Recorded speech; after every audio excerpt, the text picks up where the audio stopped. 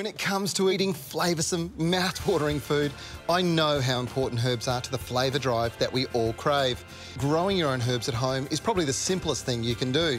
And we're very lucky in WA to have an incredible herb production nursery on the edge of town called Swan Valley Nursery. Now, I've picked up a heap of those Swan Valley Nursery kitchen essential herbs, the types that you use every day, and I've taken them to my mate Theo Kalogeracos' house. He's going to take these flavours and create some incredible pizza recipes. Now, it's what you do with the herbs that's really important. You see, they do add amazing flavour in the kitchen. And the best place for me to take them is to a food expert who really knows his stuff. Of course, world pizza champion, Theo, mate. How are you? It's important to remember that these delicious herbs can be harvested fresh from the pot initially. The trimming delivers you the first flush of aromatic foliage, but it also trims the plant, ensuring it gets bushier, providing even more succulent, flavoursome foliage just a few weeks later. Theo, it's hot and spicy oregano, or in the US, as you'd probably call it, oregano. That's how they say it? Yeah. Now, what are we going to do? Oh, that's nice. Is that good? Yeah. All right, I've got a pizza for you. All right. Just going to put down some fresh garlic. No red sauce, OK? OK. That's really nice. So I don't want to actually steal any flavour away from it. OK. We just want to add to it. This is a... What uh, have we got here?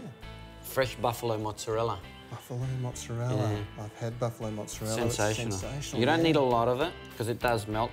And there is a high water content. So now we've got uh, normal So- potatoes that I've roasted and potato with oregano goes perfect. Yeah. So I'm actually adding some sweet potato for some sweetness to it too. And that's it. There's no sauce. When it comes out, I'm going to drizzle some oil on it. Yeah. And then we're going to rip up the fresh herbs. Yeah. Should be ready.